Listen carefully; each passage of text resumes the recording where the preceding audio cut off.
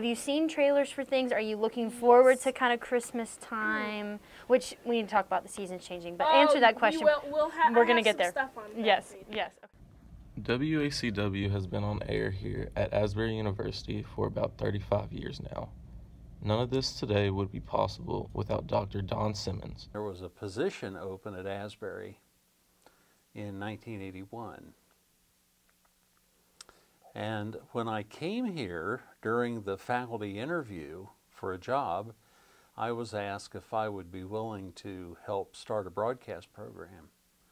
And I said I would. Together, him and Dr. Jim Owens launched the broadcast program in 1981.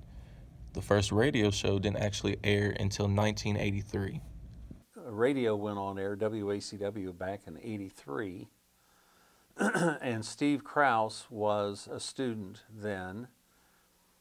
Uh, he was taking radio, and he was the first radio announcer.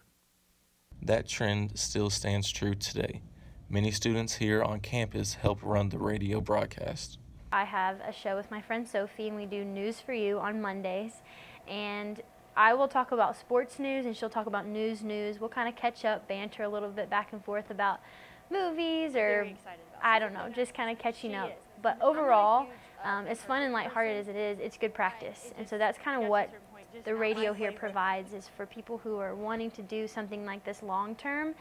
The broadcast isn't as popular and listened to as much as some may want, so the name WACW is currently in the process of being changed. Um, we started talking to other students and discovered that most people had no clue what WACW meant. Uh, and so they, we thought, well, shouldn't we get a name that is tied in a little better? There was a survey sent out in students' email to help choose the new name. The two that got the most votes were AUX Radio, so the AUX uh, allows AU to stand for Asbury University, so that was one. And then the other one was AIR 90, uh, which was taken from the idea of Asbury Internet Radio, AIR, and the 90 goes back to 1890 when the school started. To listen to the radio broadcast, go to asbury.edu slash WACW.